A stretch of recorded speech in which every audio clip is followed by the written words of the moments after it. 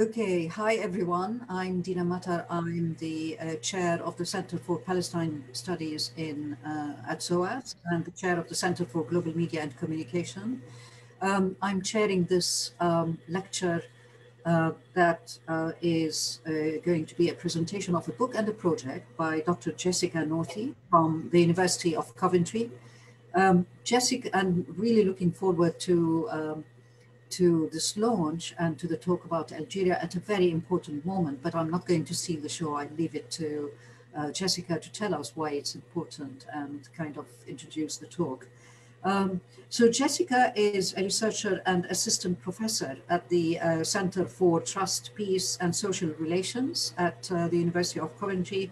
She's the director of postgraduate research there uh, she had worked at the, or she did her research or her PhD at the European University Institute. Um, and uh, from her research came out her brilliant book, uh, Civil Society in Algeria, and that was published in 2018. Um, she's interested uh, more broadly in, you know, she's focused on civil society and uh, uh, different countries of the global south.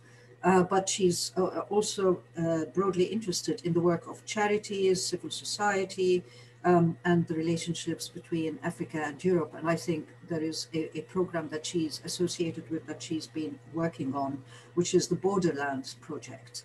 Uh, maybe you can tell us about it later on. Um, but she is the country expert for Algeria to, for the Bertelsmann Foundation.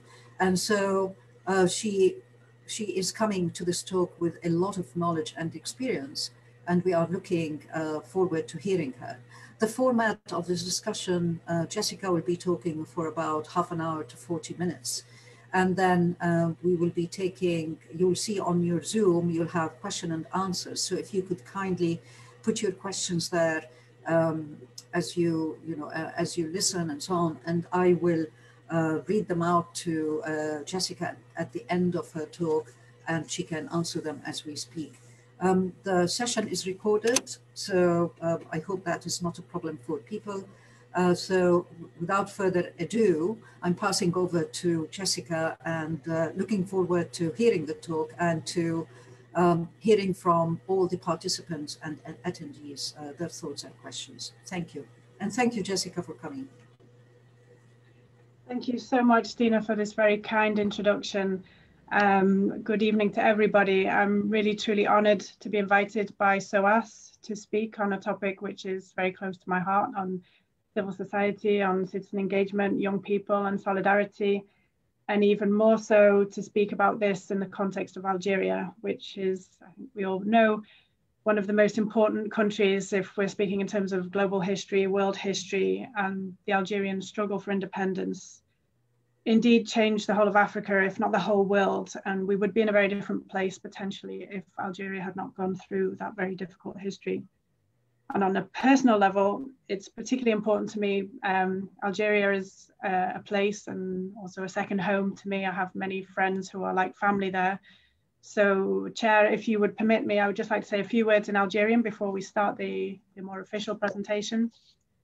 So, to my Algerian friends and colleagues then, Salam alaikum, مساء الخير. عزول فلاون. راني فرحانة بزاف. كي راح نهدى اليوم على كتابي والبعث اللي دارته خلال عشر سنين على ليزاسوسياسيون في الجزائر وليزيمبليكاسيون في المستقبل فيما يخص دور الشباب الجزائري. راني كدات ندير هاد الخدمة خاطر كاين زملاء جزائريين كيما أنتوما. اللي عاونوني ديما. كتابي راح دديه للجزائريين لناس اللي يعونوا الآخرين ويحفزهم ويديروا مبادرات كل يوم في environment صعيب.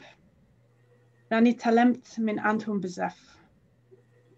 What to the Algerian students here in the UK للطلبة الجزائريين اللي راحوا هنا في جامعات في UK على يحفظكم على يحميكم على يكتا من مثلكم من فضلكم اللي يحتاج معونا راني هنا أنتم راكم تهموا بزاف الأكاديمي تاع اليونايتد كينجدوم ماذا بينا نسمعوا الأفكار والأصوات تاعكم؟ بارك الله فيكم. ما عرفتش نعبر على الحب والاحترام اللي في قلبي لكم. سعيت بزاف اللي سمحتوني. أنا نحب الجزائر والجزائر والجزائريين.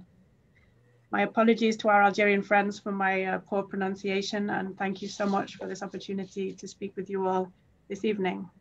So Chair, if you permit, I will share my screen um, with the audience. So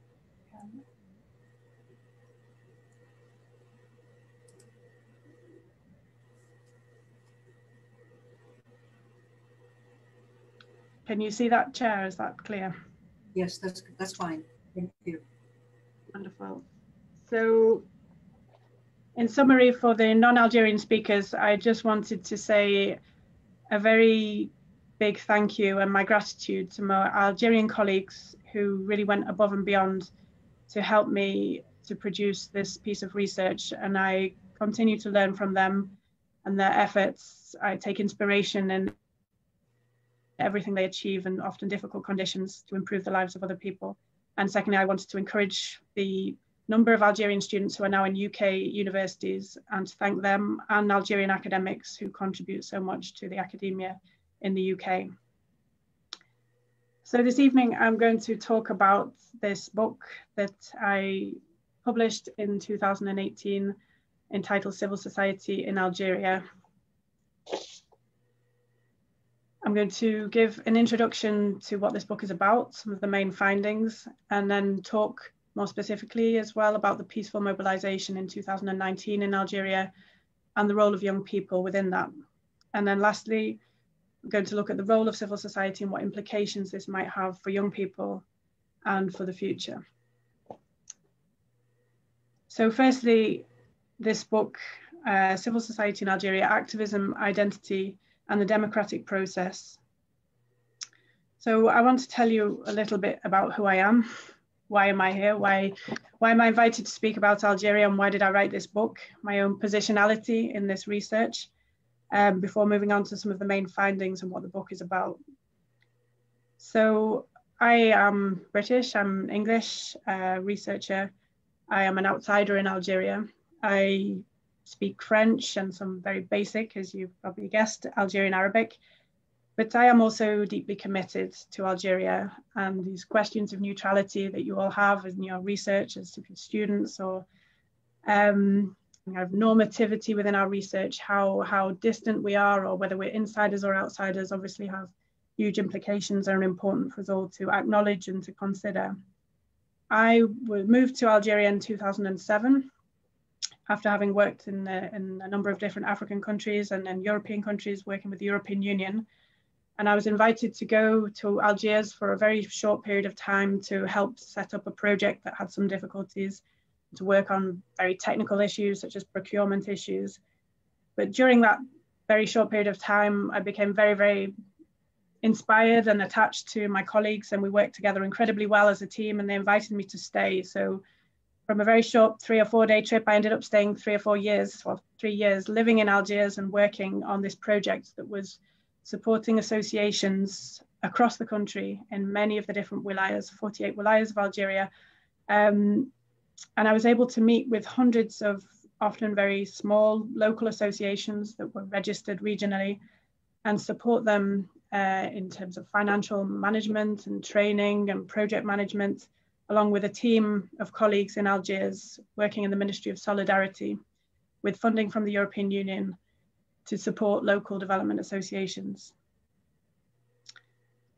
And so, as I believe many of you will know, the 1990s in Algeria was an incredibly difficult time and a very violent one in which the conflict between the Islamist insurgents and the state and the army shaped almost everything in Algerian life. This breakdown and the, kind of destruction of, of people's everyday lives. Um, a conflict which killed over 200,000 people and which many more fled and many more also were disappeared, meant that this, the context in which the associations we were working with in the early 2000s was still incredibly difficult. And the bravery and the courage of my colleagues and the associations with whom we were working was truly, truly quite inspiring. Um, and the experience of these small associations, often with very little support, um, as many of the European and international funders simply left Algeria in the 1990s. They they abandoned the country, which is, I would say, pretty accurate description of what happened. There was very, very little support to Algerians during that time.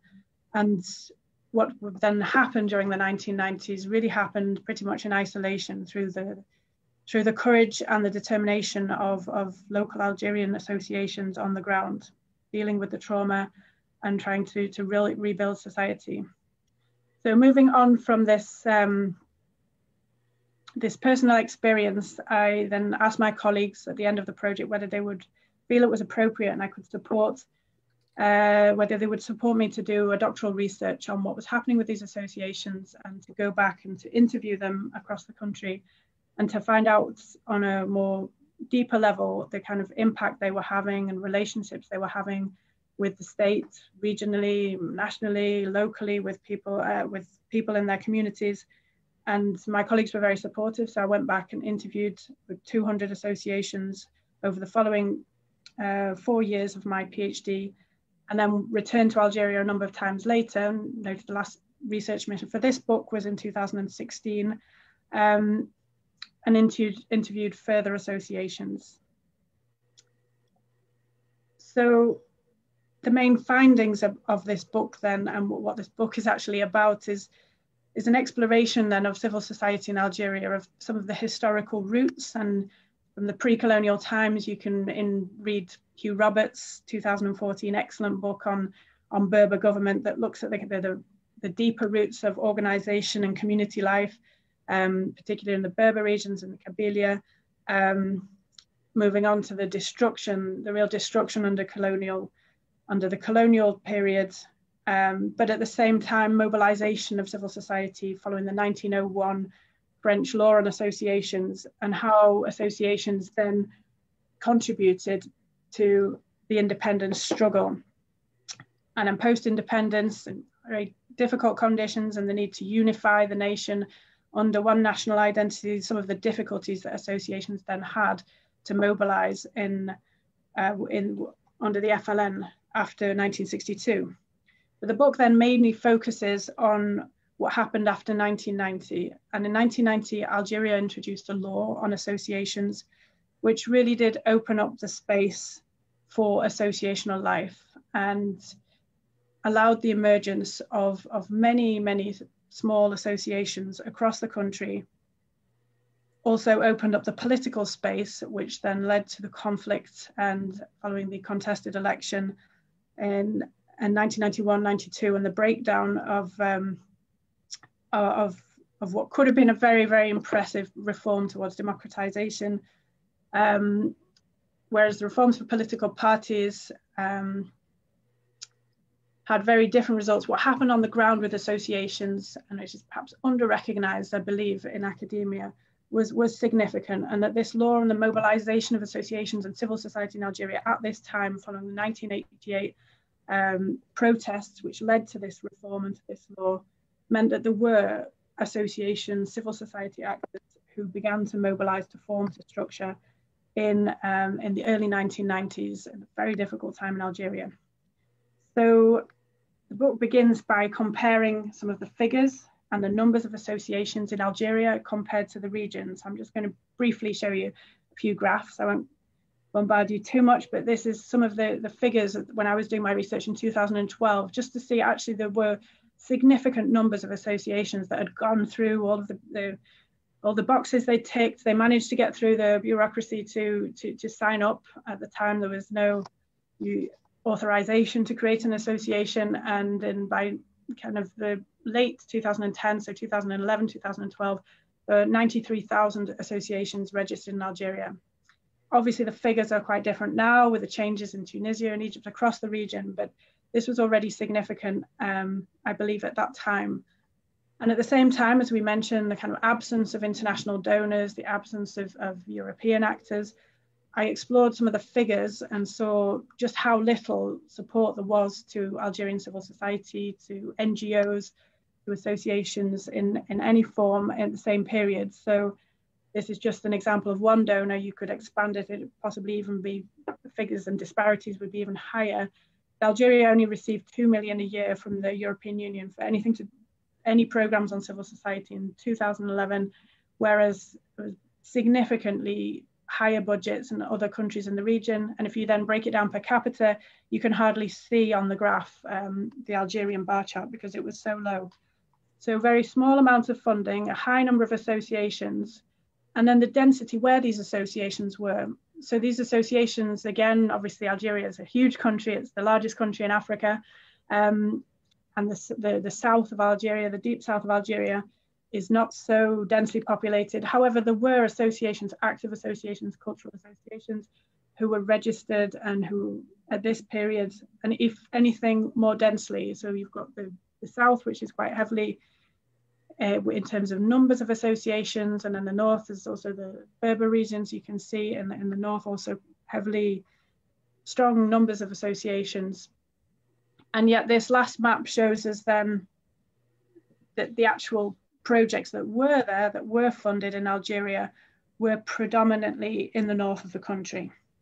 So this kind of mismatch between the amount of funding and the actual kind of presence of, of, um, of associations. So the book then focuses in more depth on two sectors.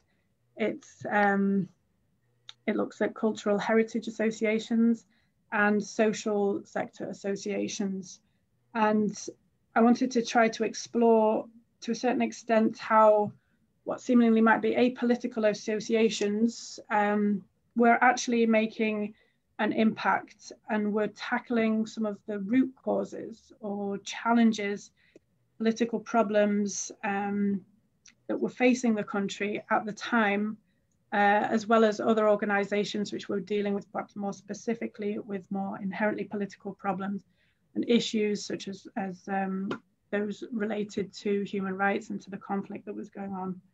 So questions of national identity, of culture, of heritage, of state policy, of how do we support vulnerable people in our communities, in our societies, and also trauma and reconciliation. These were all tackled by these, these associations that I was interviewing um, individually and in groups across the country. So I took a case study approach um, throughout the book and spent significant time with a, a, number of associations and interviewed them about their work, read their publications, uh, participate in their activities in events. And I just want to mention a, a, few, which is almost impossible to go through all of the associations that, that make up this, this book, but I just want to mention a couple of associations in the heritage sector and then a social sector association.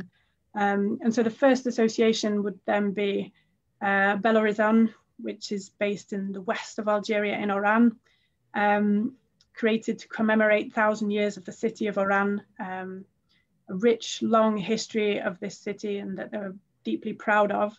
Um, a combination of artists, of photographers, of architects, um, from working together with students from the university um, to think about how to protect the cultural heritage and the patrimoine of the city of Oran and you can see some of the images of this very beautiful city in the west of Al Algeria and kind of a very strong role for young people uh, who are actively engaged in working with the, the president of this association um, to think about how we can protect and preserve a very diverse, uh, sometimes contested uh, national heritage and, and how can we share this and have a debate about questions of identity and heritage protection in, in the city and the wider region. And so they did this in, in trainings, in publications, but also through mass mobilization of the community of the city. So you can see at the bottom, uh, there's this crowds of people on the 1st of May. Every year, the association would organize a randonnée de la culture du patrimoine, and they would take, in 2011 already, 20,000 people participated in this march through the city of Oran and they had speakers and explained uh, the history and the heritage of the Jewish the buildings, the Spanish, the French, the Ottoman, Arab, the Moresque, the mosques, the, the whole rich diversity of uh, Oranese uh, heritage and took everybody ultimately up to the big mountain on the top of the city and then celebrated together. this, this diversity. And this continues in different forms, uh, in different ways every year in, in the city of Oran. Um, they also train tourist guides and try to create jobs for young people, which are sustainable and they feel would contribute in a positive way to, to protecting the city. So moving south now down to Ghardaia, which is at the gates of the Sahara, a very different environment as you can see from the images. Um, so this is the Mozabite um, Berber area of Algeria once again, and the Association pour la protection de l'environnement de Beni Isguen was once again, again an incredibly inspiring and active association back in 2007, 8, 9, when I was interviewing and working with these associations. And they created um, this organization to really think about how to protect traditional um, cultures and practices around the oasis. So this is an oasis town. They have a, a beautiful and unique culture in the Mzab region of, of Algeria, um, but obviously in harsh conditions and the need for very for sustainable practices and to also manage um, the water flows. Um, if you know, you know the floods in the desert, the, when the wets, if the rains come down, from the mountains, then it's there were devastating floods in 2013 was the last time. Um, and if these are not properly managed, then they can it can be highly destructive for the local population. So they were using traditional methods um, to channel these waters to then use work with local kind of solidarity techniques to, to divide up the water as it came through these wide channels that they themselves reconstructed to then distribute them to the different parcels, to the different agricultural, um, the farmers and the owners of the land, so that everybody was had access to water and the, and the town was also protected. So they then went on to set up a, a training centre, CRAS, which is now still very active in the city and they're part of networks now across North Africa and the Mediterranean to, to protect oases, to share knowledge, to share practices, um, and to train people in, in sustainable methods of farming and, and traditional practices.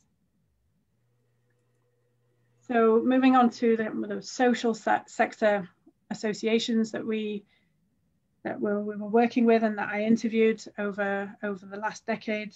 This is the Association Eshifa uh, that I would like to present to you this evening. Eshifa is um, one of the most dynamic and inspiring associations that I worked with. They are based in Medea, so we've moved north now up towards the capital Algiers. Um, so about an hour now with the new roads to drive from Algiers to Medea. But once again, Medea was an area that really, really suffered in the 1990s, that struggled incredibly with uh, the levels of violence that was happening around the whole region south of Algiers, from Algiers down to Medea and Blida, um, a devastating effect on the local population and very, very difficult for people to, to do anything, let alone set up an association and meet and, and bring people together. So the Association Medea in 2003, uh, the president and another colleague met in Algiers to try to deal with uh, an issue. They had spinal problems and had to travel a difficult journey at the time to try to get treatment. And they questioned the lack of resources and um, public services in their in their own area in Medea, and why even worse for children with disabilities, they would have to travel a long way to get any form of um, re rehabilitation, a form of support, medical support. And so they set up their own centre ultimately in 2008. They began just by collecting wheelchairs, crutches to try to support vulnerable families in the, in the city and the region of Medea. They registered, they applied and were successful in getting a small grant, which helped them to set up the centre alongside a grant from Sonatrach, the petrol company. And over a number of years, they went from 2006, where they had 500 members, to 2012, when they had 5,000 members. Um, people saw that the work they were doing was well managed, was for the community, was for the population, and they gave generously to this association so that they could make this project work. And I regularly go back as, as much as I can to, to visit this association and many others to try to see how how they're getting on and if they what support they need. And they're also active internationally, trying to support in cases where there needs to be exchange of expertise and medical questions, or there are children which would benefit from support from traveling to France or traveling to another country. They invite American doctors, the Algerian diaspora to come back to Medea and to share their knowledge. They have a, an annual conference. Um, and the book describes some of the difficulties they had in more detail in kind of trying to overcome some of the barriers in actually setting up and keeping going and maintaining some of the bureaucratic hurdles that they, they went through. But ultimately, um, this association, many others in, in Oran, in Tizi and in the south and in the east that I spoke to, um, managed to, to work in often very difficult conditions where there was limited trust between people and often between the states and associations, just to keep going and to work for the local communities and particularly for vulnerable people um, in their in their local communities to to build up that relationship. So in terms of just a few words of the, the kind of conclusion of, uh, of the book, then despite the violence of the 1990s, working under very difficult conditions uh, with limited trust, I argue then that these associations managed to create spaces and that they have progressively facilitated debate in a wide area, including history, culture, national identity, human rights, equality, and social justice. And they are deeply attached to the Algerian nation and identity, whilst also critical of the many problems that they personally faced and, and that they see in society. Algerian associations were still protective of the state and against external interference. And this also conditions the role of foreign donors. This, this sentiment conditions the, the role of foreign donors in the country. And that links back also to, to the absence of, of foreign donors when Algeria really needed support, excuse me, and um, and links to other questions about kind of global um, global politics and and the need for recognition of the truth and history, which Algeria feels Europe has not yet done. Um, the book also then lastly questions certain Western stereotypes and assumptions about Algerian civil society namely as being no more than a conservative force legitimizing and reinforcing authoritarian regimes. And this kind of focus on authoritarian resilience that we see in a lot of the academic and scholarly literature on the region, uh, I argue has missed perhaps the point to, to a certain extent that we may have missed really important developments, or as Asef Bayat argues, these, this concept of non-movements, where people use everyday practices to challenge political authority and this kind of ignoring or overseeing of, of, of what was happening in Algeria at the time meant perhaps uh, we weren't open to them what happened uh, in 2019 last year, which brings me to more recent developments um, in the context of Algeria. So I'm hoping some of you, or some of you obviously will know extremely well the, the context of Algeria. Others may well know very little about the, the context because the reporting has been somewhat um, sporadic, as we were discussing before with, with Dina. What happened in 2019 was truly phenomenal. And the role of young people in particular, I think we really need to recognize and to think about and discuss. Um, on the 22nd of February 2019, millions of Algerians marched peacefully in the street to protest against the decision of President Bouteflika to stand once again for a fifth mandate, despite the constitution disallowing this and despite his own very ill health at the time, which also meant that constitutionally he shouldn't really, he shouldn't have been standing in this election. And this was seen as a, as a humiliation to the country and Algerians refused to accept this and they stood up for, for their own democracy to protect the Algerian state, in fact, um, in what's become known as, as the Hirak. And Professor Yahia Zoubir describes the Hirak as a stunning development of a powerful civil society with incredible organizational non-violent skills. And I'm not going to give too much detail because I know the time is running out. And uh, Yahia Zoubir has written an excellent report, which you can Google if you want more information. And I've recently published an article in Revista Idee, which I'm happy to share as well, which gives more detail about how this movement evolved in 2019 and why it emerged. But I'm going to just give a few elements today because to see how this links with the research that I was doing um, over the last decade with the associations and civil society. But the Hirak Bay has began mobilizing and marching in the 22nd of February 2019 and continued throughout the whole of 2019 with almost no violence and no divisions. Uh, women played a particularly strong role in the early mobilization. You can see here some of the images from the 8th of March, International Women's Day, in which women massively took to the streets. Every Friday, every Tuesday, millions of Algerians came together on the streets of Algiers and cities across the country to demand democracy, integrity, and a, a republic, uh, not a monarchy, as they argued.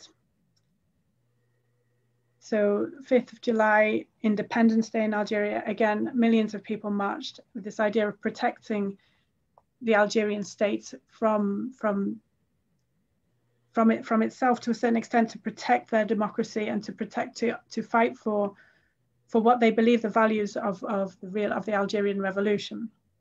So the Hirak was successful to, in its initial stages. President Bouteflika did not stand again in a fifth mandate and then stood down on the 2nd of April 2019. And this obviously continued into July and the summer as Algerians then went on to demand deeper, deeper reforms and, and a real reform to, to political life and into institutional life uh, in the country. Business elites and politicians were arrested and tried on corruption. And yet it was not just these marches, it was also a huge movement in which there were debates, artistic performance, slogans, creativity, online mobilization, and media. It's it was about social justice. It was about intergenerational exchanges. You can see the image. It began with the fifth mandate, but it went far deeper. It was about achieving a state of democracy and justice within Algeria. And you can also see it's intergenerational. Children, the young man's carrying his grandfather on his shoulders. It was it was a celebration of the diversity of Algeria, and and a new form of organizing. So this I want to really focus on the this kind of the heart of, of the of the of the movement, which was about solidarity, about Silmia, which is about peaceful protest, and this celebration of, of, of Algerian identity and, and the nation. So here you can see the images of the children and young people collecting rubbish and then making a making a, a beautiful artistic expression out of it. People sharing food, sharing meals. Um, the, the people on the bottom photo protecting the police, joining hands together, all Algerians to protect the police from any violence as well. And then a celebration of, of the different traditions and cultural her heritage of Algeria. As you can see, the women dressed in their traditional clothes in the bottom right, uh, the bottom right picture. And this idea of protecting Notre Algérie, protecting um, the Algerian nation itself. So this huge lesson in civic engagement and also was about challenging kind of global injustices as well as local ones. So a lot of the slogans were then calling out the Americans and the French um, challenging the US on there's no more oil left now. If you want oil, you come for the olive oil. There was humour. There was, you know, linking it to kind of the environmental protests in the south of the country that was challenging fracking and this kind of extractivist um, mentalities and approach of Western powers within Algeria and, and asking for a debate about the resources and governance in the country. So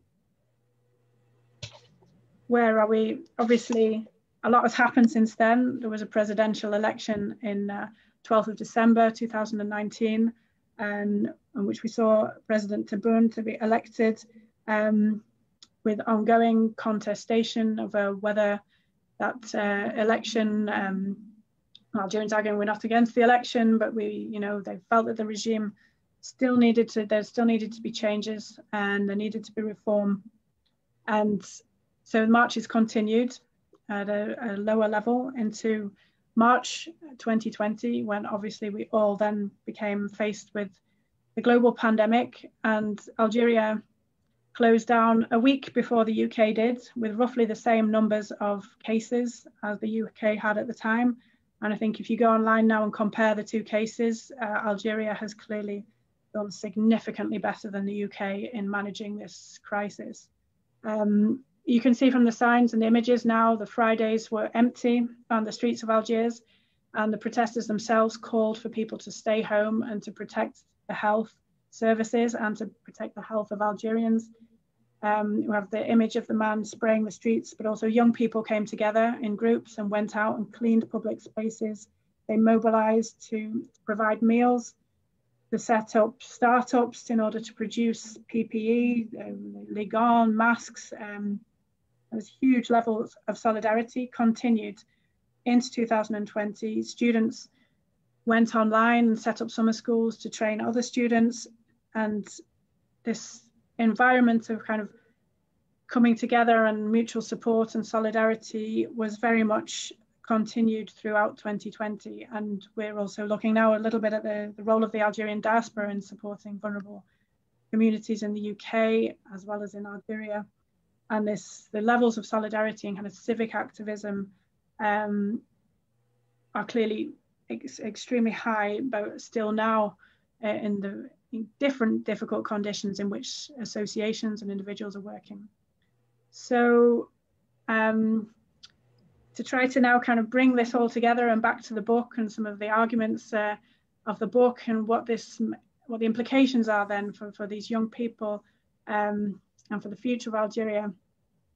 I personally believe and see from the research that I conducted that this kind of backdrop of grassroots activism since 1990 meant that there was really a, a, level of social capital within these civic associations and an experience of volunteering in very difficult conditions, which meant that people were able to mobilize often very effectively. Um, and we saw in 2019 the, the, certain colored vests would be then the medical support and um, this kind of high level of mobilization and, and capacity to for peaceful protest and intelligent critique of uh, local to national to global political challenges. Um, I be, believe that there are highly astute, internationally connected and very well educated young people now in Algeria. And I was discussing with Dina before we were in the École Supérieure de la Science Politique in Algiers just January.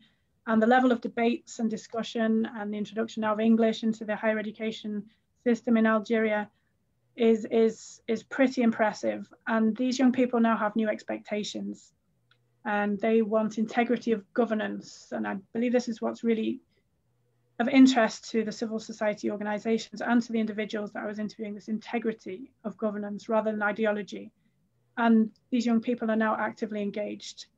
So we have now a um, a new research initiative working together with our university and algerian universities which is um, Youth Futures Program, which is about imagining the future. And this is really trying to engage now over the next few years with young people to, to interview them to see how they imagine the future with a focus on the environment and these kind of global questions really which face all of us in a context of climate change and ecological crises, which I was discussing with Algerian students this summer when their global summer schools on the environment how now do they imagine their futures in, in challenging contexts? And how can we look for experiences from the associations such as APEB and Ghardaia about how can we now be sustainable? How can we we draw on these on these experiences to, to move forward? And how do they imagine the future? So in conclusion I just have two conclusion slides and then uh, we'll we'll draw to a close and ask for your questions.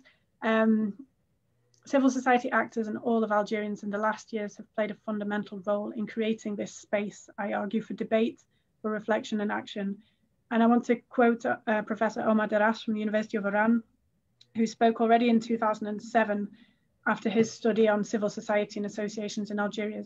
and he argued that further reforms are needed to anchor the developments that he saw in Algerian political, social, cultural life.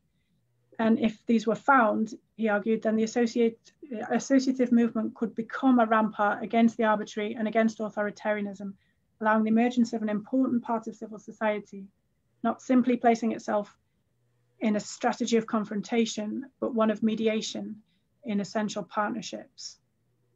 And lastly, Algerian civil society and youth in particular, I argue, have shone a light on the problems of global significance and this is unaccountability, corruption, and the breakdown of the capitalist model, the rise in authoritarianism and the failure to protect our environment. And they've done this not only in protesting, but in also offering an alternative model and values. In promoting social solidarity and cultural diversity, environmental activism, and a wider engaged political debate, Algerians are reclaiming their environments, their cultural and political spaces in an urgent move to reform society for a fairer and more sustainable future. And this is from a more recent article that was just published now on the Revista Ideas uh, website about imagining a new political space. So I'm going to leave it there and hand the floor to the chair for, for your questions, comments, debates and criticism, which I am more than open to, particularly from our Algerian friends and colleagues. And um, I hope we can enrich the debate and go a bit deeper in the questions. Okay, um, thank you. Thank you very much. So that was really a, a very interesting and exciting talk. Um, I, you know, kind of want to abuse my role as a chair and just have a, a short question, which is, um, you know, kind of thinking around your use of bayat and the idea of non-social movements and the way that we could use that um, as uh, to show that there is a process, a continuous process of engagement with civil society and activism that kind of debunks the argument around authoritarianism. Because the key debates around the, the Middle East and the Arab world, particularly because of the suggested um, uh, so-called failure of the so-called Arab Spring, uh, is that it's because of this persistent and resilient authoritarianism. So in a sense, you, you know, I just want you, wanted you to expand a bit on this argument um, that is really profound and important to make, uh, which shows that there is some form of civic or political engagement uh, taking place. Uh, so, and then I've got a few questions that I'm going to pose to you from the audience. So if I may start with that one, um, and then move on to the audience because they do have some very interesting questions. Wonderful. Yeah.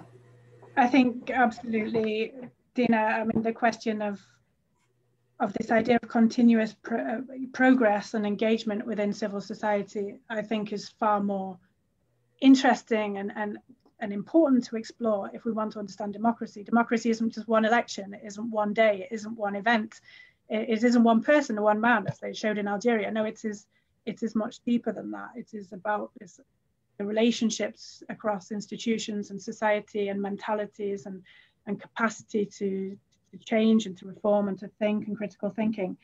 And so Bayat's concept of non-movements, this kind of critique or piquing the social movement theorists or the transitologists or the kind of the focus on authoritarianism is, is, is a useful way, I think, uh, that he, he does that to, to challenge people to, to think more deeply about politics, about democratization, about reform, and the book is very much about that to kind of challenge this this perspective, which I would argue kind of, I mean, from Said's Orientalism, I mean, to consider one region is, is not capable of, of, of reform, I mean, it, it, it makes no sense. And it, it, for me, the logic is, it isn't there and that we need to go to the grassroots level. We need all forms of research to understand our, our political context, but doing that kind of grass, grassroots interviews, qualitative research, I think allows us to to understand trends uh, and development over time. Okay, thank you. So I'm going to kind of pose the questions in the order. So the first question that came, well, first of all, uh, I just want to thank you for that very brilliant introduction and speaking in the language of the people that you are researching. Uh, that was quite moving and uh, important. Uh, and I think uh, many, many uh, of the audience were, were appreciative of that. So thank you for starting that way. It was really great. Um, so the, the, first question that comes is how difficult or easy was it to conduct your research in Algeria as a woman? Um, and the second question that, you know, you, so I'm, I'm, giving you two questions because there's a few of them coming up, uh, is that a question related to how Algerian identity and the nation is important to these associations. Did you find um, anything in case of the Amazigh uh, and the groups and uh, where uh, can you say something uh, about whether you do have civil associations uh, amongst the Amazigh uh, population. And then we'll go to the other questions. So. Can you hear me okay? Was I, I lost a couple of the the second question you said Algerian identity and nation is it important to the associations? Could you just repeat the second part of the question, Dina? Part of the question is uh, how does it figure? You know, do, in in the case of Amazigh uh, groups, uh, and do uh, can you say something about civil society in the Amazigh population?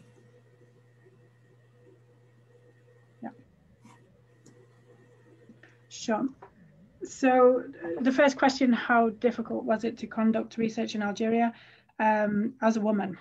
So I personally think that it was um, easier to conduct research as a woman um, because although I had uh, a lot of connections, I'd worked there for two years, people knew who I was, and it's only really thanks to those colleagues, friends, and family of those colleagues that I was able to do this research because they trusted me and they also corrected me and, and guided me in, in how to go about it in a respectful way and in a safe way, which wasn't going to add to stresses. It was still, um, still certain anxieties about people and foreigners traveling around Algeria at the time. Um, but I was, as a woman, I was invited into people's homes to stay in their families, to, you know, to the weddings, to, I was really very much part of the community and they, I was, yeah, I had absolutely really no problems. I traveled discreetly. Um, I hope I haven't in any way offended the Algerian authorities, but I, you know, I was was there as one individual PhD researcher with the support of my colleagues. I'd worked in the ministry, so they knew what I was doing. And I traveled on the buses across Algeria from Tiaret to Ghardaia. My colleagues put me on the bus in Tiaret and other colleagues met me in Ghardaia. Um, I took taxis, sometimes with friends. Um, it's it was it's very easy if you if you go about it in the right way and and with the right connections and and in a way that's respectful of, of, of local people i would suggest um i whenever i go back to algeria it's very very difficult because there are so many families and associations with whom i'm connected who i want to spend time with and who are extremely generous and hospitality i'm sure all the algerians in the audience will know that algerian hospitality is truly uh, exceptional and um, and the food and the welcome and that you you receive when you do go to Algeria. If you, it's slightly difficult to get the visa, that's the only I would say the main challenge. Um, as it is for Algerians to get a visa to come to the UK, far more difficult. Um, and I strongly support the Algerian policy of reciprocity on that. But no, there were, it was, I was very fortunate to be able to conduct research in very good conditions. The topic that I was researching was one that people wanted to talk about. Um, they were happy to share their work, and it was something which was positive uh, generally, despite the difficulties. And so, so it wasn't. Yeah, there were no major difficulties in in that regard. Um, in terms of how these associations view identity and the nation, and um, I think there's some really important and interesting research done by Nadia Marzouki, which you can look at her article in Middle East Studies, I think, which is um, on this idea of kind of questioning Algerian identity and and protecting Algerian identity and the state and and looking at it as a Maghrebi one and relooking at it as an African one as an an inclusive identity and um, and one which which includes the other and which includes the transnational perspectives, Mediterranean perspectives, Arab perspectives, Middle Eastern perspectives, European, African, that there are many, many layers and um, you know, Algeria is, is a, a, proud and independent Arab speaking nation and and can can benefit from many, many different forms and layers of, of identity. Um, but if the question was specifically related to Amazigh groups within Algeria, which which you you've referred to, then there's a hugely dynamic and rich tissue associative in, in Kabylia, in, in the Imzab, which we saw in, in, in the presentation, um, and there's a real dynamic uh, in those regions of activism, which draws on the kind of history of the pre-colonial um, structures of Algerian society, which Hugh Roberts investigates so well in, in his book about, about that. And um, I think what we saw in 2019 as well was this kind of, although there were, we know there were challenges and issues and the banning of the flag, but ultimately Algerians came together to say we are one nation, we are Amazigh, we are Arab, we are, you know, we are multilingual, we, we have many different identities, but we are protective of the Algerian nation. And I believe vast majority of the Amazigh associations I interviewed had that perspective. there is a, a, minority separatist movement, but um, that was very much the perspective that I had from the Amazigh associations that they were they cared deeply about the Algerian nation and they were at the forefront of the struggle for the revolution in 1954 onwards, uh, and that that is still still the case. That there's pride in, in the Amazigh and Arab different uh, identities of Algeria. So thank you very much. So I have uh, two questions, one from Facebook and one from um, the audience question, uh, you know, the Zoom audience. And they are kind of related because one is asking about how do you define civil society? Aren't Western definitions of civil society narrow and ideologically oriented? Uh, liberal notions of civil society. And then what about class? How does that fit into the, you know, kind of the concept of civil society? Um, and a related question, which is um, from Fatma, saying that uh, this very detailed survey of the civil society in Algeria, and that uh, the question is that why didn't you mention a great number of, did you not mention the great number of associations not registered with the Ministry of Interior? Um, and then, uh, uh, so in a sense, um, you know, did you miss out, for example, the uh, women's movement during the Hirak, uh, where a feminist group took out to the streets to ask for equality of rights and full citizenship, etc. Um, so I wondered whether that was, you know, you, you, you whether you mentioned these variations uh, in your uh, in your book uh, and whether you could respond to the question around uh, definitions of uh, civil society that you yep. kind of. Thank you for thank you for all the excellent questions. Um, first, then on the definition, whether Western concepts of civil society are too narrow or ideologically oriented, I think um, it's useful for us to conceptualize and to think about these terms and to consider the different authors and scholars such as Gramsci and this kind of counter hegemonic role that civil society can play. Um, I think, and I mentioned in the book, you know, this difficulty of transferring concepts that need to be rooted in the historical context of a country. But I think that nonetheless it's useful to do. Like uh, Ibn Khaldun, you know, the, our greatest philosophers and historians, sociologists of, of the world had the concept of asabiya. Uh, I mean, how do you translate asabiya? I mean, maybe you can say better than me, Dina, but no, this is this idea of asabiya and the kind of generational it's useful and interesting for us to, to consider in the Western context and to think about transition and change and governance and cycles, but there's no direct kind of translation of that concept. But I think it's useful for us to, to learn from, from different contexts. And I would argue that uh, as defined by many scholars and um, in, in both the Western world and in uh, in, in, in the Middle East, the, the concept as it's been explained in, uh, in this kind of formation of different groups, associations, trade unions, uh, independent organizations as a kind of counterbalance between the state and the private sector is nevertheless um, clearly, I mean, there are active associations, organizations which are independent, which are campaigning for change or which are campaigning to, to protect vulnerable populations, that this is, I believe, useful in the context of Algeria. Um, but it's an excellent question. And question two, so questions of class and how does that fit into notions of civil society? Um, I mean, and particularly in the context of Algeria, I was really, I mean, the, the divisions within society at the time I was studying didn't seem to be focused around class. But I think it's possibly more deep rooted than that, that it is, that there are elites that profited um, from Algeria's resources, and these are being challenged and called out by the vast majority of the Algerian population who see themselves a different class from, from those, those groups that, that had profited. But um, there are other, I think, important aspects and, and, and kind of regional disparities that people are trying to overcome and bring people together, um, which, which are important to understand as well.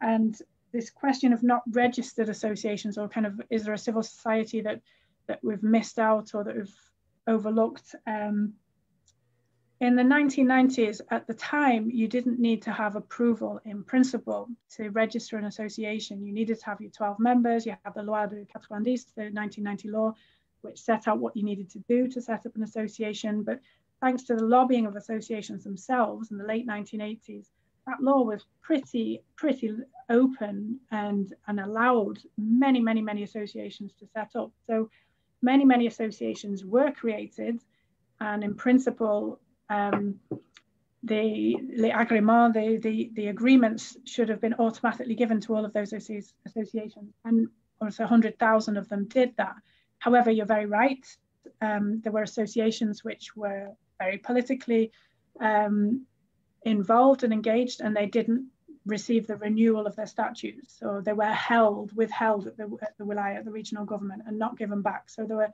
institutional blockages or slowness, which meant that associations would struggle and were in very difficult conditions. And I, I don't deny that there's been very difficult and challenging conditions in which many of these associations were working. And The book details some of, some of those and how they overcame them. Um, the law changed in 2012 and into what associations feel, and this was in response to the Arab Spring, so-called Arab Spring, and that this idea Algeria was trying to reform at the time. Um, but this new law is contested again, and that it's adding another layer of bureaucracy, and that officially now Algerians have to have an approval to register.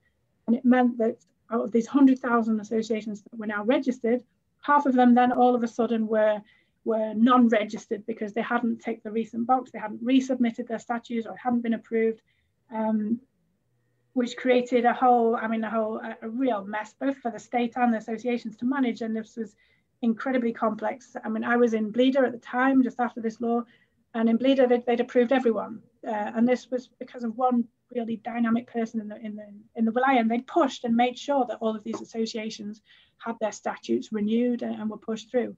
It, it's really at that level. I think we need to go to the institutions, to the regional government, to see whether this is really kind of a politically motivated decision or whether it's institutional slowness, whether it's, you know, it, there are other aspects at play. Um, but there's, you know, the capacity of people to mobilize and to demand, you know, we want, we need, we want our statutes back and we want them back for all of the associations in this wilaya was possible to do in the case of Blida and and shows this kind of development of, um, of political consciousness and awareness and holding to account, which was developing across this time. And there was a huge mobilization in 2012 against this law from associations and different networks and collectives that said, no, we, we want all our associations registered. Um, but you rightly said there's also groups that might not want to be registered as an association, they're an informal structure and they have an important role to play. And during the mobilization of 2019, it wasn't associations that were marching. Nobody marched in the name of an association, they marched as Algerians or they marched as Algerian women, as you rightly said, and they marched for the rights of Algerian women. And there was the Carré Feministe, there was uh, a space for women, and women on the 8th of March were really at the forefront of those marches. They they were protecting their sons and their husbands, um, their brothers from violence with the police. Women knew that if they were there protesting, that that would change the whole dynamic of the movement. So I think you raise a really important question, and that if we were doing this research now, that we would need to, to engage with those organizations. There's been other research by Francesco Cavatorta who looks specifically at, um, at organizations led by women who were looking at the kind of the history of the 1990s and working to support the families who'd suffered. Um, so there are a whole range of associations that maybe other people have also investigated and interviewed, and I didn't want to then go back and bother these associations yet again, but also I thought there were other other sectors that needed um, focus and, and, engagement and exploration uh, where I had contacts. But there, um, there are also many, many fantastic Algerian researchers. I'm sure some in the room who, who will also continue that research and do that research moving on from 2019 onwards. Uh, thank you. Uh, so I have a couple, a couple, of questions that I'm going to put together, and I have a question about Lebanon. I'll come back to that later if I may. Uh, I'm, not, I'm, not, forgetting that question. Um, so one question is about the uh, reaction and the government decisions during the Hirak. How do you, did you see that as manipulative, as responsive, or something else? Um, there's another question that uh, is uh, kind of interesting coming uh, from a comparative perspective with Tunisia, saying in Tunisia, the civil society is highly polarized between Islamists and modernist civil society actors. Do you have the same type of situation in Algeria? And a related question, which is uh, in relation to the Hirak, um, is uh, how did you did you see that the young people were using digital media, and what role uh, they played, uh, digital media played in that movement? And there's, there's, yeah, there's uh, Elena asked a similar question, so that answers two questions at one go. Thank you, thank you very much. So the first question about the reaction of the government and decisions which were made during the Hirak and whether these were manipulated or responsive. I think in the initial stages, I mean, you clearly see that these were responsive to the demands of the people. I mean, they could literally do nothing else. I mean, the people on the 22nd of February, millions of people took to the streets and and the state had to respond. And it was they, they, they literally they could no longer ignore it. They could no longer repress it. The army was not willing to repress it. Police were not willing to repress, and and they had to respond. And each week, uh, progress, however you define progress, but you know the decisions were made in favour of what the people were demanding. Um, Bouteflika cancelled the election.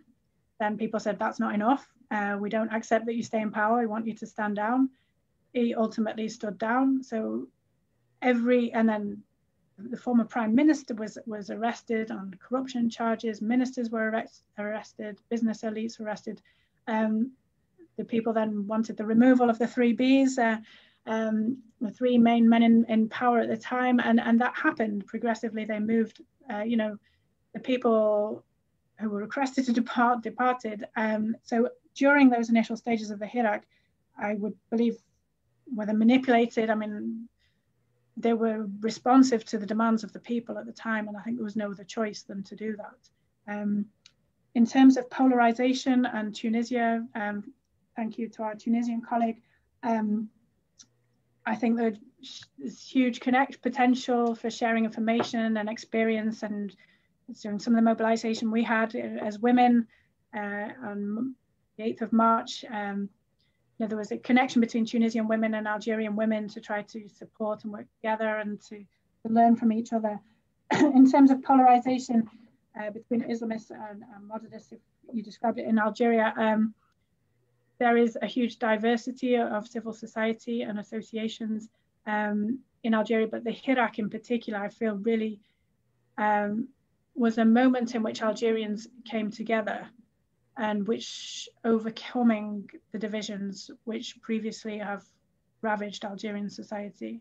Algeria suffered so much during the 1990s because of that division, because of the split between the Islamist movement and um, and more secular movements. And I profoundly believe from my colleagues and friends of, in Algeria that there is a very strong sense now of one Algeria and a united Algeria around the values which are Algerian ones and which are Islamic ones and which are about integrity and faith and identity as Muslims, as Algerians, whether you're, you're secular or not, you know, you have that powerful history and culture and heritage that comes with you. Um, and which overrides these kind of well, these fake divisions which have been manipulated in many cases to divide people when actually people are united against the real problems, which is corruption and uh, and bad governance and the the extractivism in Algeria and the removal of the resources. And these are questions which can bring people together, whatever your. Uh, it's not an ideological debate. We're fighting for, you know, a better Algeria and for better governance of our resources and for a better future for our children, uh, whatever your your beliefs or your specific identity or cultural heritage might be. Um, the last question on digital media. Um, I think you know Algeria. If you're if you're not on Facebook, then you're in a difficult place if you want to go and uh, make friends or travel or, or do work in Algeria. There's a very very strong prominence of Facebook, and people communicate um, very regularly through Facebook and Messenger, and and there's very kind of vive debates, uh, lively debates, and um, and powerful debates. It's also possible for that to go in a, the wrong direction, as we all know. Social media can also be very damaging and quite violent and uh, in all contexts. And I think that's you know something that Algerians now have to manage. Um, it's a tool which can allow us to come together and to, to mobilize and to organize, uh, but it can also be quite divisive. Um, I'm not a specialist on, on digital media. We have some fantastic Algerian PhD students in Algeria in the University of Jijel who are looking at those questions who would be able to answer this better. But I think it definitely was a useful tool at the time to, to connect and to share and to document and to make an archive of these images and the, the powerful coming together of people um, during the during the mobilization. Uh, thank you. Uh, as someone working on media, I agree with you. Well, we need we need to study it. It's really central to everything we do currently. Um, so we have a couple of questions coming up. One is uh, from Fozia, although the increasing number of collective associations uh, in Algeria, they still play a limited role in the implementation of real political reform. What can we do um, to try and, and improve or uh, enhance their, that uh, you know, kind of position? And from Umberto, uh, the question is about the future role of the Hirak and its relation with the military uh, while it has succeeded in, in helping the removal of uh, Bouteflika from power, it seems to be struggling uh, at the moment.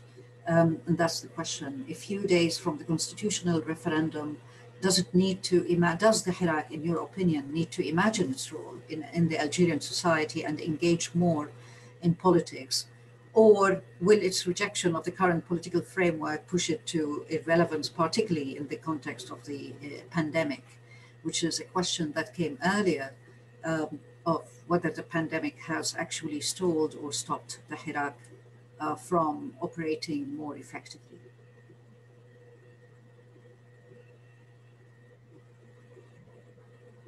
Thank you for these um, for the excellent questions. Um, Fazia, so the, the limited role, I mean, I, I would agree with you. Uh, I was talking at a very localized level often and, and terms of Asef Bayat and these non-movements and kind of very progressive political change, but the in terms of real political reform and how can we enhance their position, or how can they enhance their position, I I think this is a is, is a process, it's an ongoing process, and it needs to also be able to kind to have impacts. And I think the kind of work that we're doing in terms of like participatory action research and looking at how we we communicate and how we, we campaign for improving systems or, or challenging political decisions. Um, this is a whole skill set and and it needs it's an ecosystem now it's not just one organization on their own it needs to be have an environment in which people are able to, to debate and to speak and to contribute but also to have an impact on the political level and if you if you look at some of the mobilization in 2012 around the law on associations and how the associations came together to discuss that law and to challenge it and then to lobby the parliament to do that and lobby members of parliament and to and then and then the first round of voting the, the law was rejected by the parliamentarians and um, and challenged and called out. And then it was pushed through on a second round they were told to vote that way. And so it, it felt like for the associations that this that this you know that everything they'd done they'd campaigned they brought this all together they had the information they knew that this was then just stopped at the parliament. So this it's it's a wider institutional context. Know we need to have that relationship with members of parliament. People need to be able to engage in the political system um, to be able to influence to through the media. I mean you have a fantastic media in algeria. Difficult as it is you know you have people are very brave and they speak out and they challenge decisions. Um, this is, you know, this is a hugely important part of, of democracy and political life. Uh, the role of, of, of, newspapers and media, online or offline. Um, and associations often know the problems facing people at the local level and they know the difficulties and they know the traumas that people have been through and they know how to find responses and that those responses aren't enough and it needs to be at a wide level and so if they can i think Omar Derras's point about this kind of mediated partnerships that if associations can have a little bit more support a little bit more strength a bit more kind of people support them in the community and people give um, as we've seen algerians do so so much and they contribute in terms of solidarity to, to support other members of the community. But now to consistently do that, um, I think this is, is, is going to come. It's going to happen. Well, it is happening. It's it's an emerging. It's evolving. It's not one event. Um, in terms of is the Hirak uh, struggling relations with the military? Is, is the Hirak struggling? And they mentioned the constitutional referendum that's happening this this, this weekend. Um, this is obviously a challenging time for Algeria, and um, and and it's a difficult period not just by one event, but but the whole of this year now. I mean, what happens next?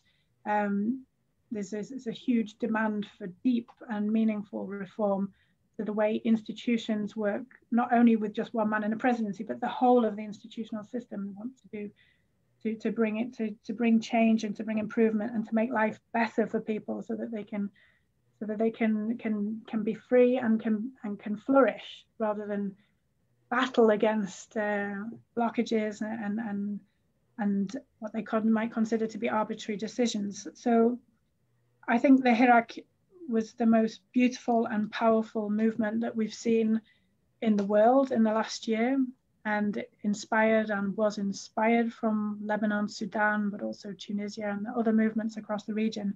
Um, the Hirak is not one person, it's not an organization, it's a movement of the whole population and it's about values.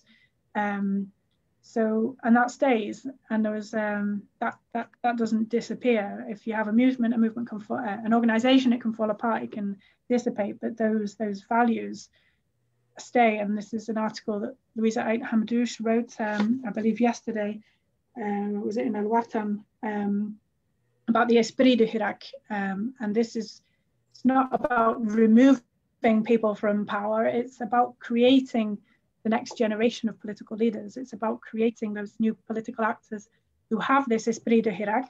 and because we saw so many millions of Algerians marching for those values, um, you know, this, this is inherent in the Algerian population. So of course they're struggling, as we all are, I think, in difficult contexts. And to a certain extent, we're watching our own society here in the UK becoming more more authoritarian rather than the other direction, and we all need to. It's all of our responsibilities individually to stand up for our democracy and to fight for it consistently. In the Algerian case, they they have another a number of challenges, and they the constitutional referendum this weekend will is one step. It's one phase in this next process, and we will to see what happens uh, this weekend. Um, but as as Louisa Dris-Ait Hamadouche says, you know, we, this, this, this spirit of the, of the Hirak needs to be maintained and we need new actors to come into the political space to do that. So is there a rejection or an irre irrelevance now of the Hirak given the pandemic or has COVID stalled um, the, the movement? Um,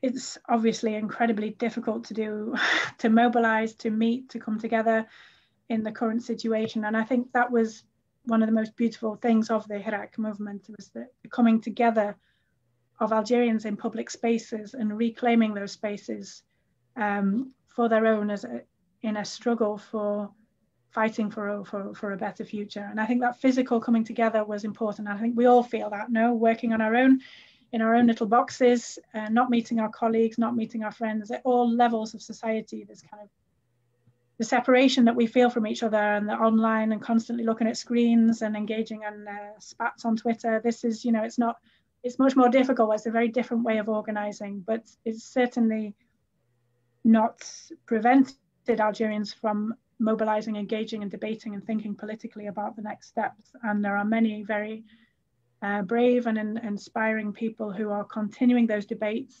online and who are also, you know, challenging the uh, the detainees who are, who are in, in, in prison still and trying to you know ensure that this the ongoing movement for for a progressive and uh, reforms within the country, th those debates are still happening and it's difficult and it's not an easy situation for Algerians and they deserve our support and understanding and not our interference.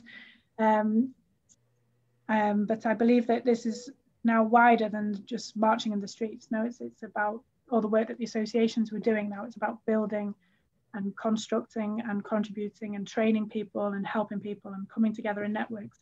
And if for the moment that has to be online, I guess that has to be online.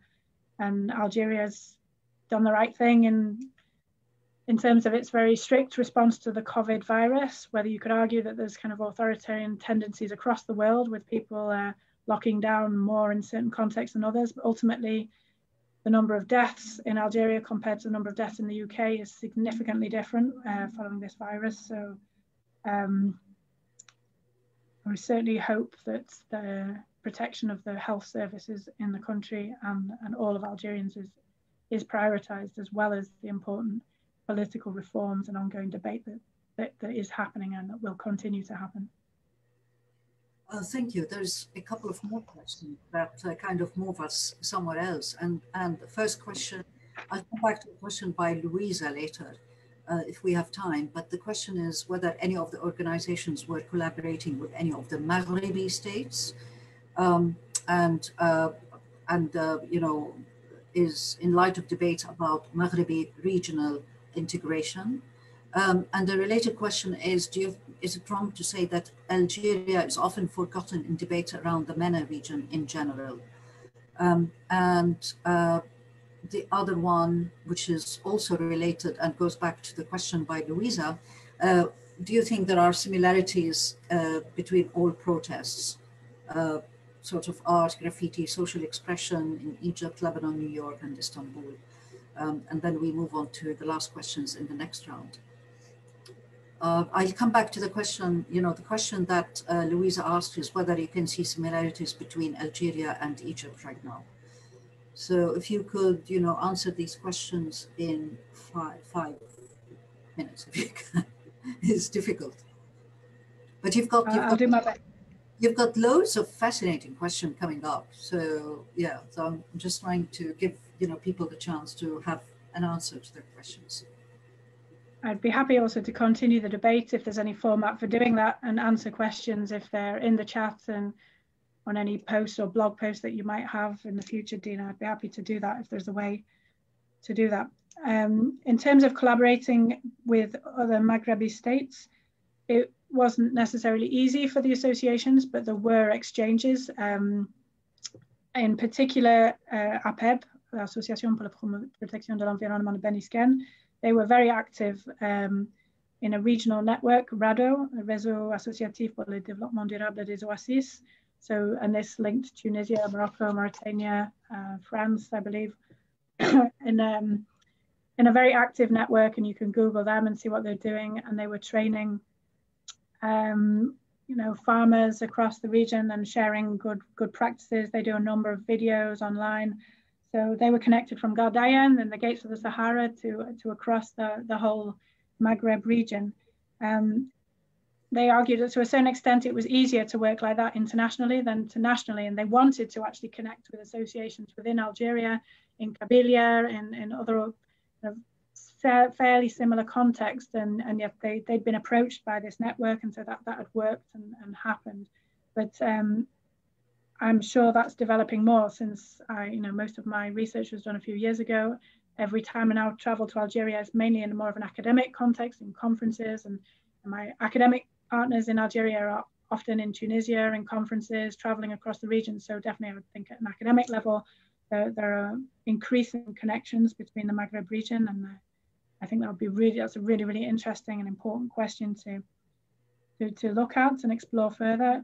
Whether Algeria is forgotten in the MENA region, uh, I think in the UK possibly because perhaps we have less connection to Algeria, we know less about it, um, which is um, really a shame because I think we would learn hugely from Algerian history and contemporary and less contemporary history and that we need to engage more with our Algerian colleagues. But I think the fact that there are now a number of Algerian PhD students who I referred to in my introduction uh, 500 PhDs have been funded by the Algerian government over the last five years to study in UK universities. We have some wonderful academics, Algerian academics in UK universities um, and in academia in general, who are contributing uh, to, to sharing information about Algeria and to trying to promote more focus on the Maghreb in general, and not just Algeria, but the whole of the Maghreb region, so that um, there can be more connections between the UK uh, and the region. Um, I think in terms of similarities, I, I think this kind of creative uh, expression and the kind of creative role and intelligence and kind of humor that we saw across the region in the protests and around the Mediterranean in general, this kind of use of, of, of culture and arts and um, different forms of representation um, definitely transcends the borders and is a such a powerful tool to to express um, dissent in a constructive way, in a creative way, in a powerful way, and in, in a way that's um, unbelievable, that makes, makes it beautiful. And I think that's, there were definitely similarities on that front and, and hopefully shared learning. And we can also learn from those messages that Algeria was often directing at us as well by the, you know, the internationalist kind of global critique of of capitalism and um, hydrocarbons and extractivism. So there, it's a very powerful way to give a message, and, and I think we could definitely see that um, across the different protests in, in the region. Thank you. Is that yeah. five minutes? I know that less than five minutes, brilliant. Um, it's the creativity is so amazing, uh, but we're also, you know, learning from cre creativity of the BLM, the Black Lives Matter movement, and so on. Um, so I want to bring together, you know, a few questions. One is about uh, the Hirak's leadership. Does it, you know, why do you think it doesn't have a leadership? Do you think that the Algerians believe that the new referendum is going to make a change?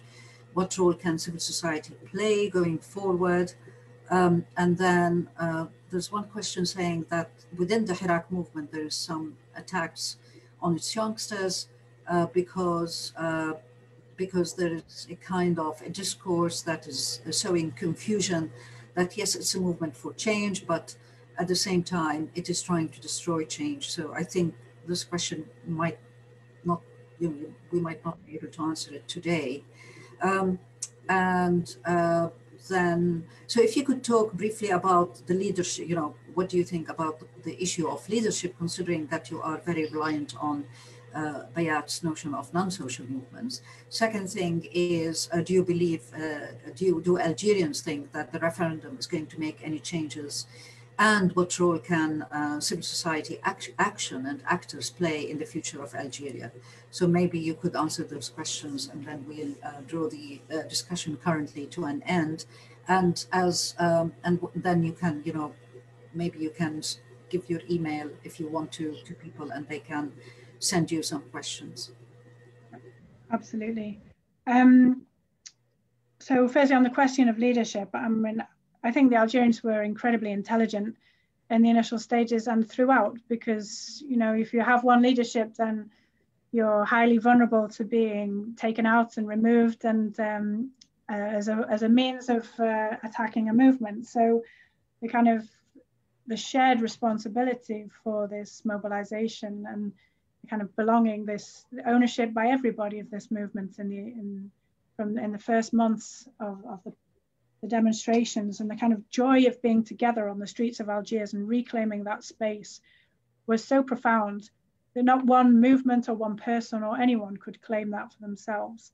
Um, now, obviously, the, the difficulties of not having leadership then means how then do you move forward afterwards? And if you succeed in your in your your goals, then then where do you go afterwards? But there are there are um, so many leaders in Algeria. No? There, I mean, there's 100,000 registered associations, each have a president, and whether obviously they're they're all different. And I'm not saying that they're all you know transformational, but there are people who have experience of of, of of activism, of solidarity, of organization, of the values that were represented in the Hirak, um, which I believe is is just as important as having. I mean, there are there are inspirational people within the Hirak who are deeply respected and who are protected by the population. But to to call out one one person will it was the beauty and the kind of the success of the Hirak in, in avoiding that. Um, in terms of the referendum, uh, I think Algerians are now extremely astute in reading their constitution and in engaging and understanding the clauses and the meaning and what that represents, uh, in particular since the last two years.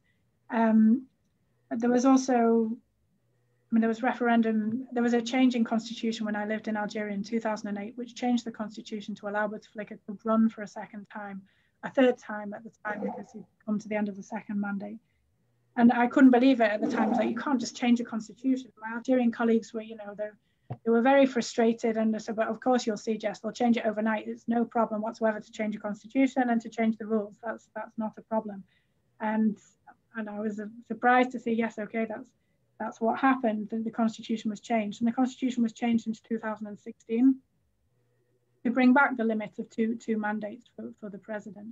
and there were, you know, positive reforms in each time, and there was there was a debate that was run across the country about that. Now there's all forms of critique, and you can be you can can challenge and, and argue whether that consultation was was inclusive and whether people were included, but um, my argument this is a, is a process it's not one event or one document and it's certainly not one document that, that will change the way we function what matters now is is the principles and the values and the respect of the constitution once it's in place that, that the constitution is respected that there's a separation of powers of justice of the executive and you know, that the principles are respected um, rather than just kind of rewriting the laws. Uh, it's, it's, easy to rewrite the laws. What matters now is how those are implemented and how those are respected. And that, I believe, is what Algerians really care about and that they will fight for, they will, they will mobilize for. And this brings us to the last question on civil society. And that's the role then of, of the, the leaders within civil society rather than the hero, but those people who, who stand up for, who challenge, who, who, who fight for human rights and for for a better Algeria and for, for ensuring that the institutions represent the people and that they represent the values that people stood up for um, in the last two years in particular, but they've been doing it since 1990 as well. that those values are, are taken forward. And this, I believe, in the active civil society, going beyond just the associations, but you know, the media, journalists, academics, universities, students in particular, young people have been so engaged and frustrated. I acknowledge, you know, the, the, last question on this kind of attack on young people. I mean, it's extremely difficult to, to see the difficulties and the divisions and the manipulation, but this is to be expected. Any mobilization, any campaign will, will have these kind of attacks um, down the line. What matters now is kind of protecting those the values and, and the integrity that people stood up for in early 2019. And I think that's what civil society will continue to, to struggle for and to, to work hard for in the coming years. That's fantastic. There were a couple of questions around but we don't have time to take them. Um, but uh, I think on that kind of very positive note, we want to thank you. And there have been a few, if, you know, more than a few comments in the questions and answers saying what a brilliant presentation and thank you for it uh, and for your research. And uh, so, and, and we really, you know, we really appreciate what you, what, you know, your research and again, your enthusiasm and your passion uh, for uh, Algeria and its people. Uh, there was one comment from uh, Samia, Samira Hamoudi, which I thought was interesting to read out in relation to the leadership, the lack of leadership there is no leadership because Algerians represent the unity, which is rather, rather a, a very, you know, kind of uh, informed plus uh, important comment about the unity of the people as the people. Um, so thank you, uh, Jessica, again, and thank you for uh, the uh, SOAS uh, Middle East Institute for hosting this talk. Um, and for the audience, you've been really brilliant and asked so many questions. And um, you know, uh, interesting discussion, brilliant, thank you, all of these, you are brilliant. So you, you really need to, you know, kind of take that and continue your work on Algeria and hopefully we can see more of this kind of um, civil society in in other parts of, of, of, the region and the Arab world. But thanks again, and thank you all for all your fantastic questions and looking forward to seeing you at other events. Take Thank care. You. Thank Bye. you so much, Dina. Thank you, everybody. Bye-bye.